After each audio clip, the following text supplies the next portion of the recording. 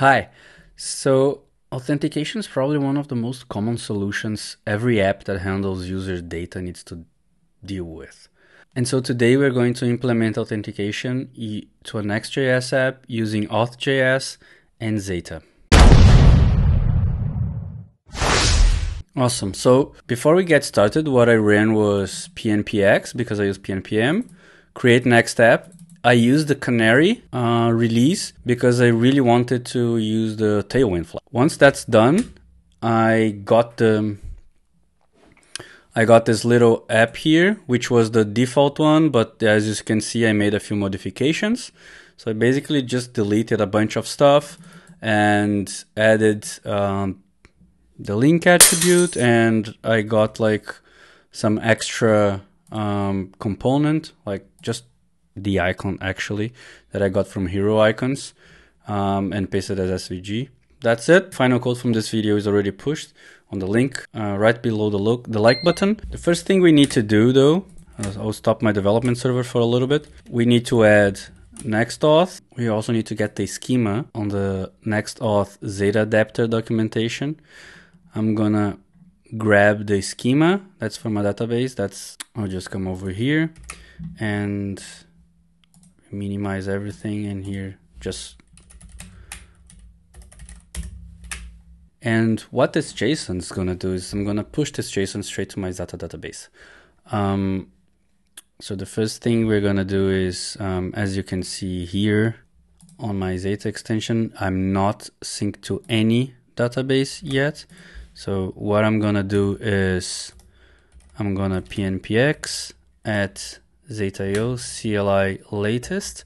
I'm to run init and I'm gonna pass the schema.json. You can have the CLI installed uh, locally. So once this is done, I can come here and I can, I don't know, go to my own database and I want to create a new one and I'm gonna call it auth.js xata and my region is gonna be EU West because it's the closest one for me and it's the default region in my deployment there you go. So now I have all the migration that's prepared. So it's adding the column, bada boom. And now if I come here and refresh it, you see that I have already something set up. I already have my database uh, and it is empty as we speak. And then you will see that the CLI already created my .env. So my codegen task that I'm going to create is going to be xata colon codegen. And what I'm going to do is um, I'm going to pnpx again and xata.io slash CLI at the latest. I'm going to run then the codegen. And that's to be enough because now the last step, come over here to the Xata RC and I'm to add some settings for my codegen and I'm to set the output to be on the lib folder and I want it to be xata.codegen. I like to prefix code generator files with .codegen server and that's gonna be it. So now if everything works, I'm gonna get an extra folder called lib and I'm gonna have a file inside. So let's see, pnpm xata codegen. Okay, codegen generated. We're back at our app that's running. Let's restart the TypeScript server. You see it's gonna stop complaining. Awesome. So I don't need to look at this again. So the first thing is there's still an open issue for um, Auth.js or NextAuth if you prefer to support the route handlers. So we're not going to use those today. Instead, we need to then create the pages API and then we're going to create the auth as the main path of it. I'm going to spread the parameter here. And then, awesome. So now what we need to do is import from NextAuth. I'm also to be using GitHub as my provider. From the list of providers, you can choose like whatever you need wherever you want to use. I'm going to use GitHub because I think it's one of the easiest to set up. Um, and then I also am to need the next auth um, Xata adapter, which by the way, I forgot to bring it in uh, on the before. So what you need to do is basically just run pnpm next auth xata adapter. First thing I need to instantiate my client. So I'm going to create a new Xata client. And now let's create the auth config, which we need to export this. So this is the this is the one setting that we need to make to plug in our database to our authentication system. Lastly, we need to set up the providers, which is are an array, so you can have multiple ones. And the GitHub provider takes a client ID, process.env, so that should be an environment variable. Awesome. And finally, what exports is next auth, which is essentially a higher order function. And we're going to pass this config as a parameter. And now we can just export. So now that we have set up our API route, let's go and get ourselves the GitHub ID and the GitHub secret. And once you log into GitHub, we go all the way to settings, go all the way down to developer settings, finally OAuth apps. And here you can create a new one. And I'm going to reuse the Xata Next OAuth. So here's one important thing we are going to need two of them, actually one for each environment because they point out to different callback URLs. And then on the callback URL, put whatever port your application is going to be running. All this other stuff, they don't really matter right now. And then you're going to generate a new secret and uh, a new GitHub uh, client ID and these are the ones so this one this is the github client ID so you can click on generate back to your project go to the env config and add it there as GitHub secret and GitHub client.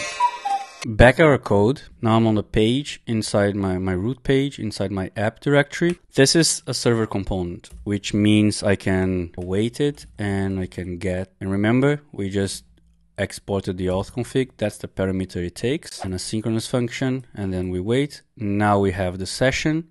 And then here, I'm gonna check if I have the session, to avoid any implicit programming, I'll convert a session to Boolean myself. And if we do have a session, I want it to return the link. And if we don't have a session, I want it to be a button, type button. So we say knock knock if we don't have a session. Otherwise, um, we can just say hi friend, a wave emoji. Hello because it's waving. Yeah. We are gonna add a login button that we still need to create. So so let's come in and say login TSX. Awesome. So first of all, this is gonna be a client component because it has some interactivity to it. And first of all, we're gonna have an in-flight to make sure people don't click on the button like more than once. It's gonna set an in-flight quick and dirty. Um, with the use state and form component. Form component has submit button flight. I'm gonna disable it. We just need to add on submit handler, prevent the default, otherwise it's gonna trigger page refresh and we don't want because we are now on single page application land. So we do that and then we set in flight to true, import sign in, and now I have the sign in. I'm gonna pass GitHub and our callback URL is going to be slash in. And now that we have our button, let's click on the knock knock. So we're prompt to log in. I authorize access to my GitHub account and bam, we are inside. Now that I have this, because it's a server component, I can again get the session. Here I am. So, so lastly, the last thing that we need to do is then if there is no session or user in the session, redirect to the root page. Uh, the redirect actually comes from the navigation package. And so here we are. So now let's go back. It already has my login. So yeah, hello, bam. Let's make the logout button, right? Now actually just copy paste my login, call it logout.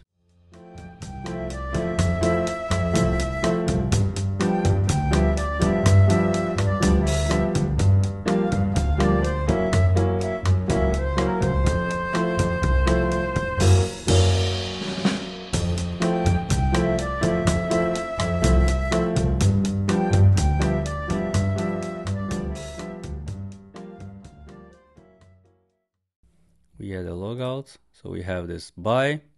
Now I click it, logged out, back in. And yeah, that's it. That's how you create authentication on Next.js app with Auth.js and you plug it into Xata. Now keep tuned for the next video that we implement row level security and make sure we don't leak data between different users on a single database. So see ya!